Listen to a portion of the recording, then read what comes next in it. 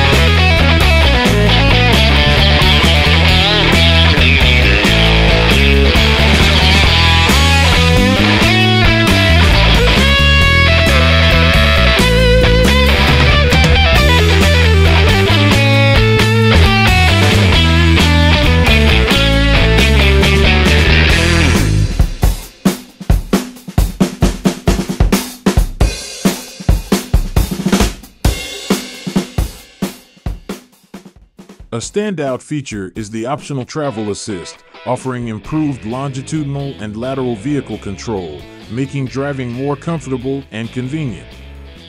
The base model includes LED headlights and taillights, a multifunction camera, dynamic road sign display, and the digital cockpit.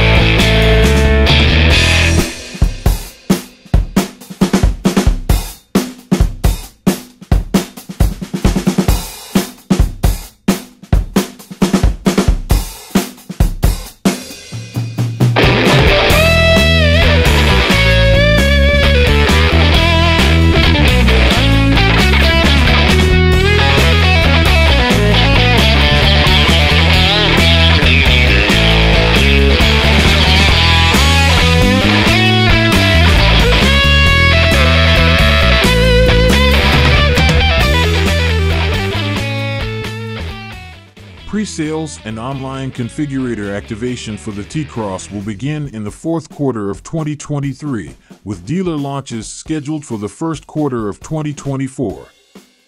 Despite the updates, Volkswagen promises an attractive base price for this highly sought-after compact SUV.